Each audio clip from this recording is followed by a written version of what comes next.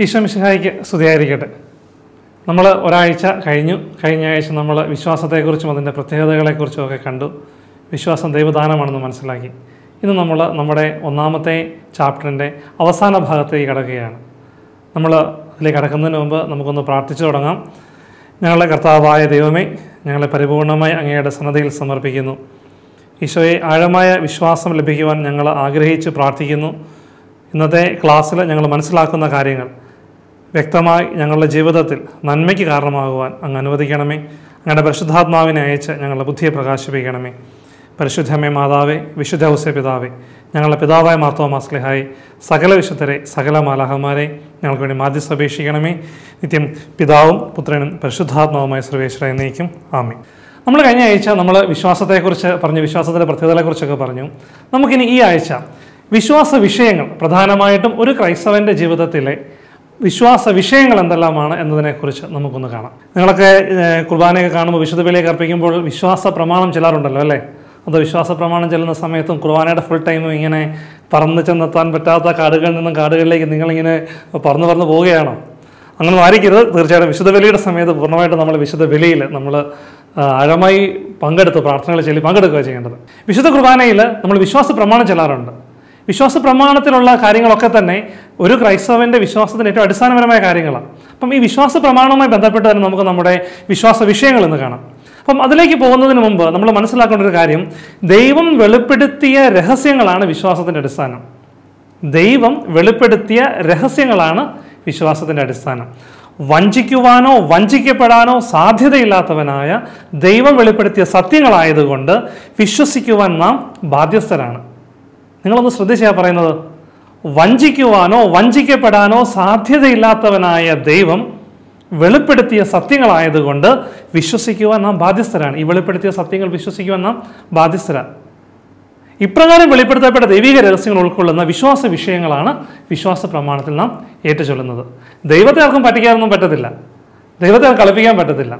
ആരാലും വഞ്ചിക്കപ്പെടാത്ത വഞ്ചിക്കപ്പെടാൻ ഒരു സാധ്യതയില്ലാത്ത ദൈവം പറഞ്ഞ സത്യങ്ങൾ നമ്മുടെ വിശ്വാസത്തിൽ നമ്മുടെ വിശ്വാസ വിഷയങ്ങളായിട്ട് നമ്മൾ ഏറ്റുപറയുന്നത് അപ്പം അങ്ങനെയുള്ള നമ്മുടെ വിശ്വാസ വിഷയങ്ങളിൽ പ്രധാനപ്പെട്ട ചില മേഖലകളിലേക്ക് നമുക്ക് കടന്നു ചെല്ലാം. അതിൽ ആദ്യത്തേതാണ് പരിശുദ്ധ ത്രിത്വത്തിലുള്ള വിശ്വാസം. നമ്മളെപ്പോഴും പിതാവും പുത്രനും പരിശുദ്ധാത്മാവുമായ ത്രിത്വേക ദൈവത്തെക്കുറിച്ചൊക്കെ പറയും. നിങ്ങൾ ശ്രദ്ധിച്ചിട്ടുണ്ടോ? നമ്മൾ ഈ അച്ഛന്മാരൊക്കെ ആശീർവദിക്കുന്നത് നമ്മുടെ കർത്താവായ ഈശ്വമിശായുടെ കൃപയും പിതാവായ ദൈവത്തിന്റെ സ്നേഹവും പരിശുദ്ധാത്മാവിന്റെ സഹവാസവും നാം എല്ലാവരോടും കൂടി ഉണ്ടായിരിക്കട്ടെ എന്നൊക്കെ അച്ഛന്മാരൊക്കെ എപ്പോഴും അവർ ആശീർവദിക്കുന്ന കേട്ടിട്ടില്ലേ? അല്ലെ കുർബാന ഇടയ്ക്കാണെങ്കിലും അല്ലെ കുറേ തവണ നമ്മൾ ഈ ഒരു പ്രാർത്ഥന കേൾക്കുന്നുണ്ട്. മുമ്പേ പറഞ്ഞ പോലെ കുർബാനയിൽ നിങ്ങൾ ശ്രദ്ധിക്കുന്നുണ്ടെങ്കിൽ നിങ്ങൾക്ക് തന്നെ ചിലപ്പോൾ തോന്നുമായിരിക്കില്ല എന്നെ ഇങ്ങനെ ഇടയ്ക്കിടയ്ക്ക് ഇങ്ങനെ പ്രാർത്ഥന ഇങ്ങനെ വന്നു പോകുന്നതെന്ന് അപ്പോൾ അതിനകത്തൊരു കാര്യമുള്ളത് ഈ പ്രാർത്ഥന എന്ന് പറയുന്നത് എന്താ? പരിശുദ്ധ ത്രിത്വത്തിന്റെ ആശീർവാദമാണ് പിന്നെയാണെങ്കിൽ ഇങ്ങനെ ആശീർവാദം കിട്ടുമ്പോൾ കേട്ടോ ശരിക്കും ഒന്ന് കൈകൂപ്പി നിന്നങ്ങ് നിന്നേക്കണം. കാരണം പിതാവും പുത്രനും പരിശുദ്ധാത്മാവുമായ തൃത്വൈക ദൈവത്തിന്റെ ആശീർവാദം ഇങ്ങോട്ട് നേരിട്ട് തരുക തൃത്വൈക ദൈവം എന്ന് പറയുന്നത് ഏതെങ്കിലും അച്ഛനോ അല്ലെങ്കിൽ ഏതെങ്കിലും മെത്രാനോ ഏതെങ്കിലും സൂനകദോസലോ അല്ലെങ്കിൽ ഏതെങ്കിലും ഒരു ചരിത്രത്തിലോ ഒന്നോ അല്ലെങ്കിൽ പെട്ടെന്ന് ഒരു ദിവസം കത്തോലിക്ക സഭയിലേക്ക് പ്രത്യേക ദൈവം എന്നൊരു കോൺസെപ്റ്റ് കൊണ്ടുവരാം എന്ന് പറഞ്ഞ് കൊണ്ടുവന്നൊന്നുമല്ല നമ്മൾ തൃത്വത്തിലുള്ള നമ്മുടെ ആശീർവാദവും നമ്മുടെ വിശ്വാസവുമായിട്ട് ബന്ധപ്പെട്ടതാണ് ഞാൻ പറഞ്ഞല്ലോ ഇത് പെട്ടെന്നൊരു ദിവസം ഇങ്ങനെ പൊട്ടിമുളച്ചൊരു കാര്യമൊന്നുമല്ല. പൗലോസ്ലിഹ എ ഡി അൻപതിനടുത്താണ് അദ്ദേഹത്തിന്റെ ലേഖനങ്ങളൊക്കെ. അപ്പം എ ഡി അൻപതിനടുത്ത് തന്നെ അദ്ദേഹം എഴുതിയ ലേഖനങ്ങളിലൊക്കെ തന്നെ കൃത്യമായിട്ട് അദ്ദേഹം എഴുതി വെച്ചിട്ടുണ്ട്. നമുക്കവിടെ കാണാൻ പറ്റും. നമ്മുടെ കർത്താവിശ്വമിശയുടെ കൃപയും പിതാവായ ദൈവത്തിന്റെ സ്നേഹവും പരിശുദ്ധാത്മാവിന്റെ സഹവാസവും നാം ഓരോരുത്തരും കൂടി ഉണ്ടായിരിക്കട്ടെ എന്ന് പറഞ്ഞുകൊണ്ട് പൗലോസ് പൗലോസ്ലിഹയുടെ ആശീർവാദവും അദ്ദേഹത്തിന്റെ ലേഖനങ്ങളൊക്കെ കാണാൻ സാധിക്കും. അപ്പോൾ പരിശുദ്ധ നമ്മൾ പണ്ട് പോലെ കേൾക്കുന്ന ദൈവത്തിൽ മൂന്ന് ആളുകളുണ്ട് ദൈവം ഏകനാണ് നമ്മൾ ചെല്ലുന്നത് എങ്ങനെയാണ് പിതാവിന്റെയും പുത്രന്റെയും പരിശുദ്ധാത്മാവിന്റെയും നാമത്തിൽ നിന്നാണ്. പിതാവിന്റെയും പുത്രന്റെയും പരിശുദ്ധാത്മാവിന്റെയും നാമങ്ങളിൽ നിന്നല്ല. അതായത് ഏക സത്യദൈവം മൂന്ന് പേർ ഉൾക്കൊള്ളുന്ന ഏക സത്യദൈവം. ഒരു ദൈവം അതിൽ മൂന്നാളുകൾ. ഇത് കത്തോലിക്ക സഭയുടെ വിശ്വാസത്തിന്റെ അടിസ്ഥാനമാണ്.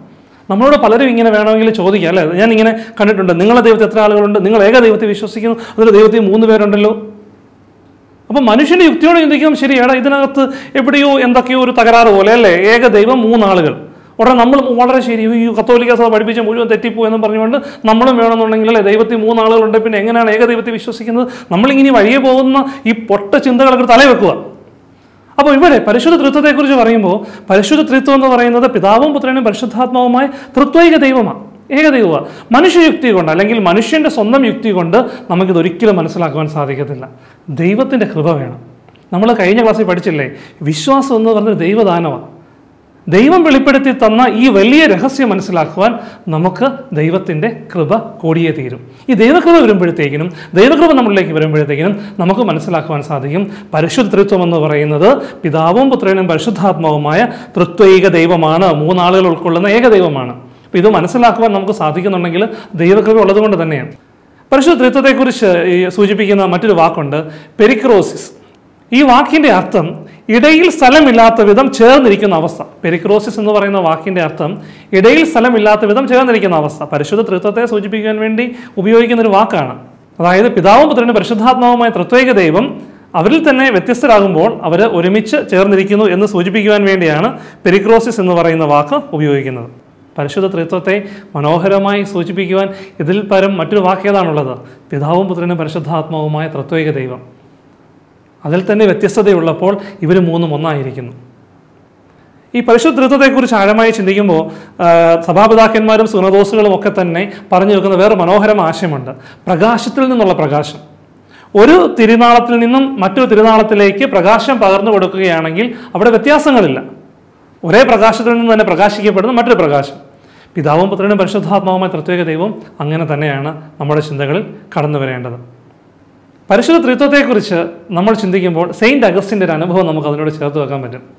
നമ്മൾ കഴിഞ്ഞ ക്ലാസ്സുകളിൽ കണ്ടായിരുന്നല്ലോ സെയിന്റ് അഗസ്റ്റിൻ ലോക പ്രശസ്തനായ ഒരു അതിപ്രഗത്ഭനായ ഒരു ദൈവശാസ്ത്ര പണ്ഡിതനായിരുന്നു. അദ്ദേഹം സഭയിലെ വലിയൊരു വിശുദ്ധനാണ്. സെയിന്റ് അഗസ്റ്റിൻ ഒരിക്കൽ ഇങ്ങനെ അദ്ദേഹം അദ്ദേഹത്തിന്റെ അനുഭവം ഇങ്ങനെയാണ്. അദ്ദേഹം കടൽ തീർത്തോടെ ഇങ്ങനെ നടന്നു പോവുകയാണ്.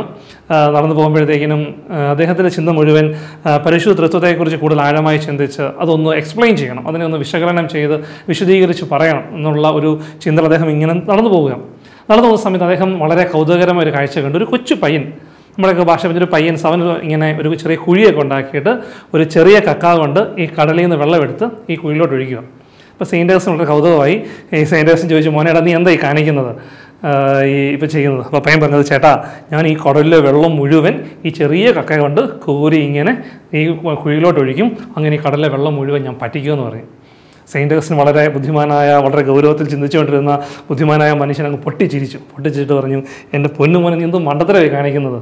ഈ കടലിലെ വെള്ളം മുഴുവൻ നീ ഈ കൊച്ചു കക്ക കൊണ്ട് ഈ കുഴിയിൽ കോരി ഒഴിക്കുമോ പയ്യൻ നമ്മുടെ ഇപ്പോഴത്തെ ഭാഷയിലാണെങ്കിൽ നമ്മുടെ ഇപ്പോഴത്തെ പിള്ളേരിലാണെങ്കിൽ അവൻ പറഞ്ഞേ വിട്ടുകള വിട്ടുകള എന്ന് പറഞ്ഞു ഈ പൊട്ട ചിന്തയൊക്കെ. അവൻ പക്ഷെ അത്ര നന്നു. അന്നത്തെ പയ്യൻ അവൻ പറഞ്ഞു ഈ ചേട്ടാ ചേട്ടൻ ചിന്തിക്കുന്നത് അതിനേക്കാളും ലോക മണ്ടത്തരമാണ് ഞാൻ ഈ കടലിലെ വെള്ളം മുഴുവൻ ഈ ചെറിയ കക്ക കൊണ്ട് കോരി വറ്റിക്കും എന്നുള്ളത് മണ്ടത്തരമാണെങ്കിൽ അതിനേക്കാളും പതിനായിരം മടങ്ങാണ് ചേട്ടൻ വിചാരിക്കുന്ന ചേട്ടൻ ഇപ്പോൾ ചിന്തിച്ചുകൊണ്ടിരിക്കുന്ന ആ കാര്യം. സെയിന്റേഴ്സ് ചിന്തിച്ചുകൊണ്ടിരുന്ന കാര്യം എന്താണ്?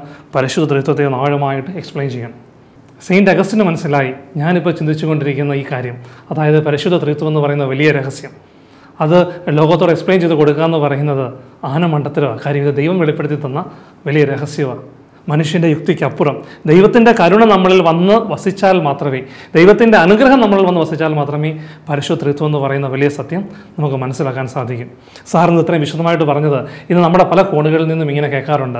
പരിശുദ്ധ ത്രിത്വത്തെക്കുറിച്ച് ഇത് മനസ്സിലാക്കാൻ പറ്റുന്നില്ലല്ലോ അല്ലെങ്കിൽ ഇത് തെറ്റാണ് നിങ്ങൾ നിങ്ങളുടെ ദൈവവും നിങ്ങൾ ബഹുദൈവ വിശ്വാസികളാണ് അഭിമാനത്തോടെ പറയണം. പിതാവും പുത്രനും പരിശുദ്ധാത്മാവുമായ തൃത്വൈക ദൈവത്തെ ഏകദൈവത്തിലാണ് ഞങ്ങൾ വിശ്വസിക്കുന്നത്.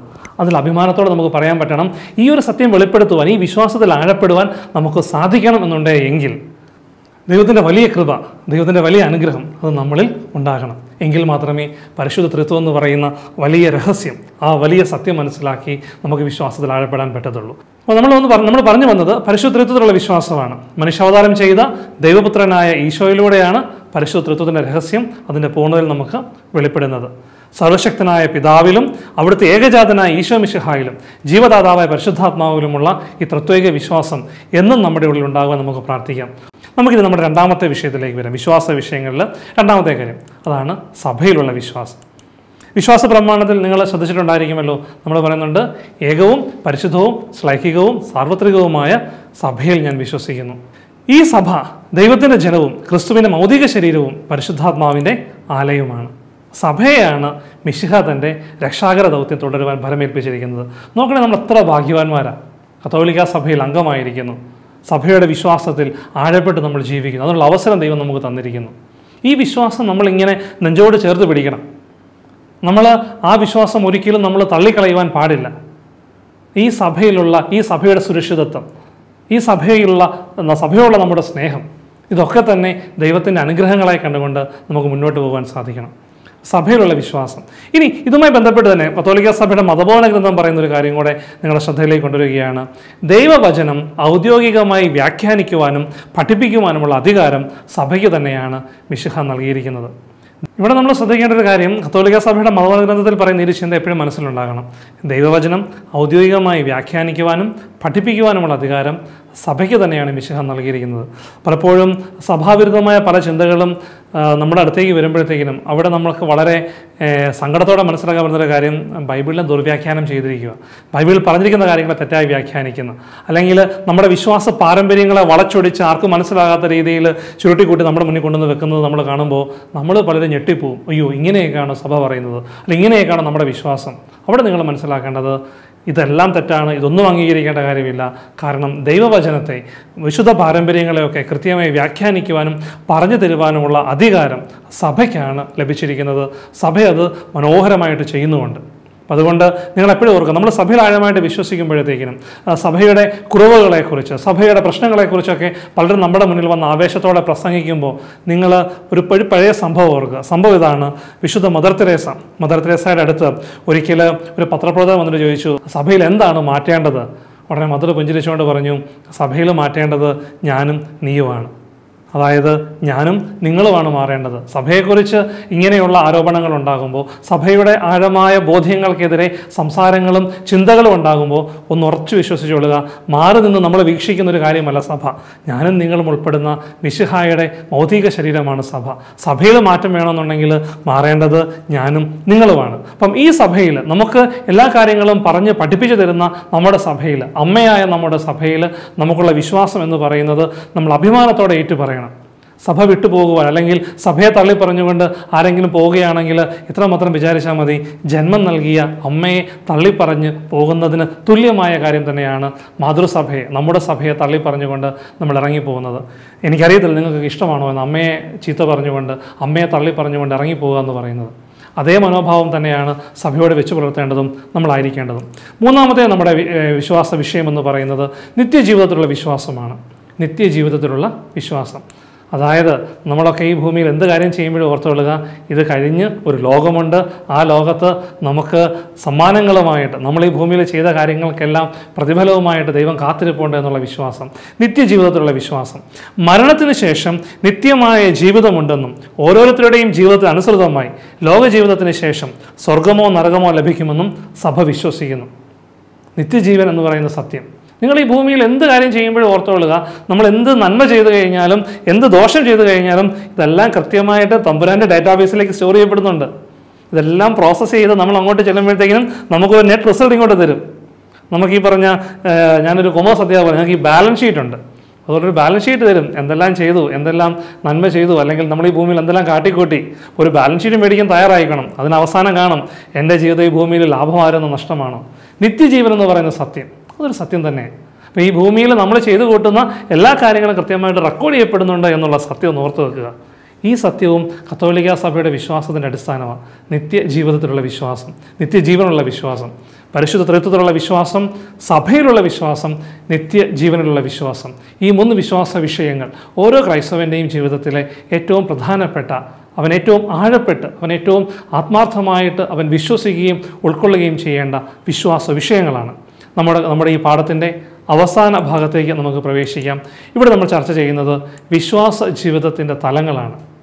നമ്മൾ ഈ പറഞ്ഞപ്പോൾ നമ്മൾ വിശ്വാസത്തെക്കുറിച്ച് പഠിച്ചു അതിന്റെ പ്രത്യേകതകളെക്കുറിച്ച് കണ്ടു വിശ്വാസ വിഷയങ്ങൾ കണ്ടു. ഇനി ഇത് പ്രാക്ടിക്കലായിട്ട് നമ്മൾ വിശ്വാസ ജീവിതത്തിലേക്ക് വരുമ്പോൾ നമ്മൾ ഇത് ഏതെല്ലാം തലങ്ങളിലൂടെയാണ് നമ്മൾ കടന്നു പോകേണ്ടത്? വിശ്വാസ ജീവിതത്തിന്റെ തലങ്ങൾ. ഒന്നാമത്തെ തലം സഭാതലമാണ്. സഭാതലം. സഭയിലാണ് വിശ്വാസ ജീവിതം വളരുന്നതും കരുത്താർജിക്കുന്നതും പൂവണിയുന്നതും. നമ്മൾ കണ്ടു. ഏകവും പരിശുദ്ധവും ശ്ലൈകികവും സാർവത്രികവുമായ കത്തോലിക്ക സഭയിലാണ് നമ്മൾ വിശ്വസിക്കുന്നത് കണ്ടു. ഈ സഭയിലാണ് നമ്മുടെ വിശ്വാസ ജീവിതം പൂർണമാകേണ്ടതും കരുത്താർജിക്കേണ്ടതും. അപ്പോൾ നമ്മൾ വിചാരിക്കും നമ്മൾ സഭയിൽ ഞാൻ ദൈവത്തെ വിശ്വസിക്കുന്നുണ്ട് ഞാൻ ഭയങ്കര ദൈവവിശ്വാസിയാണ് പക്ഷേ സഭ അല്ലെങ്കിൽ അങ്ങനത്തെ കാര്യങ്ങളൊന്നും വേണ്ട. ഞാൻ ഞാൻ ദൈവവിശ്വാസിയാണ് ദൈവവിശ്വാസിയാണ് പക്ഷേ ഞാനിങ്ങനെ സഭയിലൂടെ ഒന്നുമല്ല വിശ്വസിക്കുന്നത്. നമുക്ക് ഈ ഒരു പ്രായത്തിൽ തോന്നാവുന്ന ചിന്തയാണ് അവിടെയാണ് നമുക്ക് തെറ്റുപറ്റുന്നത്. നിങ്ങൾ സംശയം ഉണ്ടെങ്കിൽ നിങ്ങൾ നോക്കുക. നമ്മൾ വലിയ എക്സാമ്പിൾ തേടി നമ്മൾ ദൂരോട്ടൊന്നും പോകണ്ട. അടുക്കളയിലോട്ടൊന്ന് ചെല്ലുക. അടുക്കളയിൽ ഈ ഭക്ഷണമൊക്കെ ഉണ്ടാകുമ്പോഴത്തേക്കിനും ഈ നമ്മൾ അടു പഴയ അടുപ്പാണെന്നുണ്ടെങ്കിൽ ഈ തീക്കനൽ ഇങ്ങനെ ഒത്തിരി വിറക് ഇങ്ങനെ കൂട്ടി വെച്ചായിരിക്കും കത്തിക്കുന്നത്. തീ ഇങ്ങനെ ആളി കത്തും അതിനകത്തൊന്ന് ഒരു തീക്കനലെടുത്ത് മാറ്റിയിട്ട് നോക്കുക. സംഭവം തീക്കനലാണ് തീക്കനലൊക്കെ തന്നെയാണ്. പക്ഷേ ഈ മാറ്റിയിടുന്ന തീക്കനൽ കുറേ കഴിയുമ്പോഴത്തേക്കിനും കരിക്കട്ടയായിട്ട് മാറും. ഒരു ഗുണവും കാണത്തില്ല. നമുക്ക് വേണമെങ്കിൽ ഭിത്തിയിൽ എഴുതാൻ കൊള്ളാം. അതും ഇങ്ങനെ എന്താ എന്തെങ്കിലും ആവശ്യമില്ലാത്ത കാര്യങ്ങൾ എഴുതാൻ മാത്രമേ ഈ കരിക്കട്ട കൊള്ളത്തുള്ളൂ. നിങ്ങൾ മനസ്സിലാക്കേണ്ടത് നമ്മളും ഈ പറഞ്ഞ അടുപ്പിൽ നിന്നും ഒരു വിറക് കൊള്ളി മാറ്റുമ്പോൾ അതിന്റെ തീ കെട്ടുപോകുന്നത് പോലെ സഭയുടെ കൂട്ടായ്മയിൽ നമ്മൾ മാറിപ്പോയി കഴിഞ്ഞാൽ ഒറ്റയ്ക്ക് നിന്ന് കഴിഞ്ഞാൽ നമ്മുടെ അവസ്ഥയും ഈ പറഞ്ഞതുപോലെ ഇതിന്റെ അഗ്നി മുഴുവൻ ഇല്ലാതായി ഇതിന്റെ ആ ജ്വലിക്കുന്ന ശക്തി മുഴുവൻ ഇല്ലാതായി നമ്മൾ കറുത്ത കരിക്കട്ടയായിട്ട് മാറും ഒരു പ്രയോജനമില്ലാതെ മാറും. അതുകൊണ്ട് സഭയിലുള്ള നമ്മുടെ വിശ്വാസം പ്രധാനപ്പെട്ടതാണ്. അതുമായി ബന്ധപ്പെട്ടതാണ് ഇടവകയിലുള്ള നമ്മുടെ പ്രവൃത്തികൾ ഇടവക കൂട്ടായ്മയിലായിരിക്കുക. നമ്മൾ ഇടവക കൂട്ടായ്മയിൽ വിശുദ്ധ കുർബാന അതുപോലെ തന്നെ ബാക്കി ഭക്താനുഷ്ഠാനങ്ങൾ. നിങ്ങൾ യുവജനങ്ങൾക്ക് നിങ്ങൾക്ക് അറിയാമല്ലോ നമുക്കൊരു സംഘടനയുണ്ട്. യുവദീപ്തി എസ് എം വൈയും യുവജനങ്ങൾക്ക് ഒരു സംഘടനയുണ്ട്. നമുക്കെല്ലാം ഞങ്ങളൊക്കെ പ്രായവാരായിപ്പോയി ഞങ്ങൾ കിളവന്മാരായിപ്പോയി നിങ്ങളെപ്പോലെയുള്ള യുവസിംഹങ്ങൾക്ക് ഒരു സംഘടനയുണ്ട്. യുവദീപ്തി എസ് എം വൈയും സഭയിലൂടെ നമ്മുടെ പ്രവർത്തനങ്ങൾ നമ്മുടെ വിശ്വാസം പ്രഘോഷിക്കുവാനുള്ള നമ്മുടെ ഏറ്റവും നല്ല പ്ലാറ്റ്ഫോമുകളിലൊന്നാണ് നമ്മുടെ യുവദീപ്തി എസ് എം വൈയും നിങ്ങൾ എത്ര പേർ അംഗമായിട്ടുണ്ട്? നിങ്ങൾ എത്ര പേര് യുവദീപ്തിയിൽ അംഗങ്ങളായിട്ടുണ്ട്? ഇനിയിപ്പോൾ ഈ ലോക്ക്ഡൗൺ കഴിയുമ്പോഴത്തേ അല്ലെങ്കിൽ ഈ ലോക്ക്ഡൗൺ സമയത്ത് തന്നെ എന്തോരം കാര്യങ്ങളാണ് യുവദീപ്തിയിലെ പിള്ളേർ ചെയ്യുന്നത്? പഠിക്കുവാൻ സഹായം പിള്ളേർക്ക് എത്തിച്ചു കൊടുക്കുന്നു ഓൺലൈൻ പഠി സൗകര്യമുള്ളവർക്ക് എത്തിച്ചു കൊടുക്കുന്നു ബ്ലഡ് ഡൊണേഷൻ ആശുപത്രി അങ്ങനെ ഇഷ്ടംപോലെ കാര്യങ്ങൾ ഇതൊക്കെ തന്നെ നമ്മുടെ സാമൂഹിക തലത്തിൽ സഭയിലൂടെ നമ്മൾ നമ്മുടെ വിശ്വാസം പ്രകടിപ്പിക്കുന്നതാണ് അപ്പം നിങ്ങളും ചിന്തിച്ച് നോക്കുക നമുക്ക് എത്ര പേർക്ക് യുവജനങ്ങളായ നിങ്ങൾക്ക് എത്ര പേർക്ക് നിങ്ങളുടെ വിശ്വാസം ഇങ്ങനെയുള്ള പ്രായോഗിക തലത്തിലൂടെ എത്തിക്കുവാൻ സാധിക്കും. അപ്പോൾ ഒന്ന് സഭാതലം. രണ്ടാമത്തേതാണ് സഭാതലം കഴിഞ്ഞ് കഴിഞ്ഞാൽ കുടുംബതലം. കാര്യം നമ്മളൊക്കെ ഒരു വീട്ടിൽ നിന്നാണ് വരുന്നത്. ഗാർഹിക സഭ എന്ന കുടുംബത്തെ വിശേഷിപ്പിക്കുന്നത്. നമുക്ക് പൈതൃകമായി പകർന്നു കിട്ടിയ വിശ്വാസത്തിന്റെ കരുത്ത് അത് പരിപോഷിപ്പിക്കപ്പെടുന്നത് കുടുംബത്തിലാണ്. അങ്ങനെ വരുമ്പോൾ നമ്മുടെ സന്ധ്യാപ്രാർത്ഥന തൊട്ട് നമുക്ക് ചിന്തിക്കാൻ തുടങ്ങണം. നമുക്ക് സന്ധ്യാപ്രാർത്ഥനയുടെ സമയത്ത് ഒരു കയ്യിൽ മൊബൈലും മറുകൈയിൽ കൊന്തയുമായി ഒരേ സമയം രണ്ട് കൈകളും ഒരു ഒരുമിച്ച് ഉപയോഗിക്കുന്ന എന്താ പറയുക മൾട്ടി സ്പെഷ്യാലിറ്റി വ്യക്തികളായിട്ട് അല്ലെങ്കിൽ മൾട്ടി സ്പെഷ്യാലിറ്റി പ്രതിഭകളായിട്ട് നമ്മൾ മാറുകയാണ്. അല്ല അത് വല്ല വൈദ്യശാസ്ത്രം എന്ന് പ്രത്യേക കഴിവുകൾ കണ്ടുപിടിക്കുകയാണ് ഒരു കൈ കൊണ്ട് ഒരു കാര്യം ചെയ്യുന്നു മറ്റേ കൊണ്ട് വേറൊരു കാര്യം. ഒരു കൈ മൊബൈലിൽ മെസ്സേജ് അയക്കുന്നു മറ്റേ കയ്യിൽ കൊന്തയില്ലുന്നു കൊന്തയില്ലെന്ന് മെസ്സേജ് അയക്കുന്നു കൊന്തയില്ലെന്ന് മെസ്സേജ് അയക്കുന്നു. മാറി മാറി കാണിച്ചുകൊണ്ടിരിക്കണം എന്ന് പറയുന്ന അവസ്ഥയാണ്. നമ്മുടെ കുടുംബ പ്രാർത്ഥനകൾ. അത് മാറി. വിശുദ്ധ കുർബ കുടുംബ പ്രാർത്ഥനയുടെ സമയത്ത് ആഴമായി കുടുംബ പ്രാർത്ഥനയിൽ പങ്കെടുക്കുക. കുടുംബത്തിലൊരു മാതൃകയായിട്ട് മാറുക. മാതാപിതാക്കളിൽ നിന്നും ബന്ധുക്കളിൽ നിന്നും കിട്ടിയ ചൈതന്യം ഏറ്റെടുക്കുക. നമ്മൾ വിശ്വാസത്തിന്റെ സാക്ഷ്യങ്ങളായി മാറുക. കുടുംബതലം. വിശ്വാസം നമുക്ക് ഏറ്റവും മനോഹരമായി പ്രഘോഷിക്കുവാനും അടുത്ത തലമുറയ്ക്ക് പകർന്നു കൊടുക്കുവാനും പറ്റിയ ഏറ്റവും നല്ല സ്ഥലമാണ് കുടുംബം എന്ന് പറയുന്നത്. മൂന്നാമത്തേതാണ് ഗാർഹിക സഭയെ കുടുംബത്തിൽ നിന്ന് നമ്മൾ അടുത്തതായിട്ട് മൂന്നാമത്തെ തലത്തിലേക്ക് വരുന്നു. അതാണ് വ്യക്തിതലം. എന്റെ വ്യക്തിജീവിതം. വ്യക്തിജീവിതം വളർച്ചകളുടെ വഴികളിൽ അതുപോലെ തന്നെ ദുഃഖത്തിന്റെ അനുഭവങ്ങളൊക്കെ തന്നെ ഞാൻ എങ്ങനെയാണ് എന്റെ വിശ്വാസത്തെ പ്രഘോഷിച്ചത്? വ്യക്തിതലം മൂന്നാമത്തെ മേഖലയാണ്. നമുക്കൊരു പ്രതിസന്ധി ഉണ്ടാകും നമ്മൾ എങ്ങനെയാണ് അതിനെ നേരിട്ടത്? നമുക്കൊരു ബുദ്ധിമുട്ടുണ്ടാകും നമ്മൾ എങ്ങനെ അതിനെ നേരിട്ടത്? ആഴമേറിയ വിശ്വാസത്തിന്റെ വ്യക്തമായ പ്രതിഫലനമാണ് യഥാർത്ഥത്തിലുള്ള വ്യക്തിജീവിതം. നമ്മുടെ വിശ്വാസം ശരിക്കും നമ്മൾ റിഫ്ലക്റ്റ് ചെയ്യപ്പെടുന്നത് അത് പ്രതിഫലിക്കുന്നത് നമ്മുടെ ജീവിതത്തിൽ വ്യക്തി ജീവിതത്തിലാണ് വിശ്വാസം പ്രഘോഷിക്കപ്പെടാനുള്ള മറ്റൊരു തലമ. ആഴമായ വിശ്വാസം ഉണ്ടെങ്കിൽ വ്യക്തിപരമായിട്ട് എന്റെ പ്രവർത്തനങ്ങളിലും എന്റെ ഇടപാടുകളിലും എന്റെ നിലപാടുകളിലും ദൈവത്തിന്റെ സാന്നിധ്യം ഉണ്ടാകും. അവിടെ നീതി ഉണ്ടാകും കരുണയുണ്ടാകും വ്യക്തിജീവിതം നമ്മുടെ വ്യക്തിതലം വിശ്വാസം പ്രഘോഷിക്കുവാനുള്ള നല്ല ഒരു മേഖലയായിട്ട് മാറട്ടെ. നിങ്ങൾ ചിന്തിക്കേണ്ടത് വിശ്വാസത്തിന്റെ വേരുകൾ ആഴത്തിൽ പതിയുമ്പോൾ ഒരുവൻ വിശ്വാസിയും വേരോട്ടമില്ലാതാകുമ്പോൾ അല്പവിശ്വാസിയും വേരില്ലാതാകുമ്പോൾ അവിശ്വാസിയുമായി മാറുന്നു. നമ്മൾ ആഴമായ വിശ്വാസത്തിന് ഉടമകളാകണമെങ്കിൽ വിശ്വാസത്തിന്റെ വേരുകൾ നമ്മൾ നമ്മുടെ ഉള്ളിൽ പാകുവാനും അത് ആഴത്തിൽ വേരോടുവാനും അനുവദിക്കണം. അവസാനമായി സമൂഹതലം. നമ്മൾ സഭയിൽ നിന്ന് അല്ലെങ്കിൽ ഇടവകയിൽ നിന്ന് നമ്മൾ നമ്മുടെ കുടുംബത്തിലേക്ക് വന്നു നമ്മൾ നമ്മുടെ വ്യക്തി ജീവിതത്തിലേക്ക് വന്നു. ഇനി വ്യക്തികൾ കൂടി ചേരുന്ന സാമൂഹിക തലത്തിലേക്ക് വരിക. സമൂഹതലം. സാമൂഹിക ജീവിയായ മനുഷ്യനെ സംബന്ധിച്ചിടത്തോളം അവൻ എപ്പോഴും ഇടപെടുകയും പ്രവർത്തിക്കുകയും ചെയ്യുന്ന സമൂഹത്തിലാണ്. കുടുംബത്തിനെ പോലെ തന്നെ ശക്തമായിട്ട് നമ്മളെ സ്വാധീനം ചെലുത്തുന്ന സാമൂഹിക തലം. നമ്മുടെ സഭയെ നമ്മുടെ അമ്മയെ ആക്ഷേപിക്കുവാൻ അല്ലെങ്കിൽ അമ്മയ്ക്ക് നമ്മുടെ സഭ അമ്മയായ സഭയെ സംശയത്തിന് നിലയിൽ നിർത്തുവാൻ തക്ക രീതിയിലുള്ള വ്യാജ ആരോപണങ്ങൾ ഫാബ്രിക്കേറ്റഡ് ആയിട്ട് ക്രിയേറ്റ് ചെയ്യപ്പെട്ട ഒത്തിരി സാഹചര്യങ്ങൾ നമ്മുടെ മുൻപിൽ ഉണ്ടാകുമ്പോൾ അല്ല തെറ്റിദ്ധാരണ പരത്തുന്ന പല സംഭവങ്ങൾ നമ്മുടെ മുന്നിൽ ഉണ്ടാകുമ്പോൾ അതൊക്കെ ഈ പറഞ്ഞ സാമൂഹിക തലത്തിൽ നിന്നുകൊണ്ട് വിശ്വാസത്തോടെ നമുക്ക് നേരിടുവാൻ സാധിക്കണം. നമുക്ക് ആരെയും വെല്ലുവിളിക്കുവാനല്ല. നിങ്ങൾക്കറിയാം പത്ത് പന്ത്രണ്ട് വർഷം സൺഡേ സ്കൂളിൽ പഠിച്ച് വേദപാഠം പഠിച്ച നമ്മളാരും ആരെയും വെല്ലുവിളിക്കുവാനോ അല്ലെങ്കിൽ വർഗീയവാദികളായിട്ടോ തീവ്രമായ നിലപാടുകൾ എടുത്തുകൊണ്ട് നമ്മളാരും പോയിട്ടില്ല. നേരെ മറിച്ച് ഇത്തരം വെല്ലുവിളികൾ ഉണ്ടാകുമ്പോഴത്തേക്കിനും ഇത്തരം ആരോപണങ്ങൾ ഉണ്ടാകുമ്പോഴത്തേക്കിനും പക്വതയോടെ വിശ്വാസത്തോടെ നേരിടുവാൻ നമ്മൾ നമ്മുടെ സമൂഹതലം ഉപയോഗിക്കണം. അപ്പോൾ അവസാനം നമ്മുടെ വിശ്വാസം നമ്മൾ പ്രഘോഷിക്കേണ്ടത് നമ്മുടെ സമൂഹത്തിലാണ്. മറ്റുള്ളവർക്ക് പ്രചോദനമാകുവാൻ മറ്റുള്ളവർക്ക് ധൈര്യം പകർന്നു കൊടുക്കുവാൻ നമ്മൾ നമ്മുടെ സമൂഹ തലത്തിലേക്ക് നമ്മുടെ വിശ്വാസത്തിന്റെ പ്രഘോഷകരായിട്ട് മാറണം. പ്രിയപ്പെട്ട അനുജന്മാരെ അനുജത്തിമാരെ നിങ്ങൾ കഴിഞ്ഞ ആഴ്ചയും ഈ ആഴ്ചയുമായിട്ട് ആഴമായ ദൈവവിശ്വാസത്തിന്റെ അനുഭവങ്ങൾ എന്താണെന്നും പ്രത്യേകതകൾ എന്താണെന്നും അതിന്റെ ഉദ മികച്ച ഉദാഹരണങ്ങൾ എന്താണെന്നും കണ്ടു. എവിടെയൊക്കെ വിശ്വാസം പ്രഘോഷിക്കാമെന്ന് കണ്ടു. ഞാൻ ആദ്യമേ പറഞ്ഞുവല്ലോ ദൈവം തന്ന അനുഗ്രഹമാണ് ദാനമാണ് ഓരോ വ്യക്തിയുടെയും ദൈവവിശ്വാസം.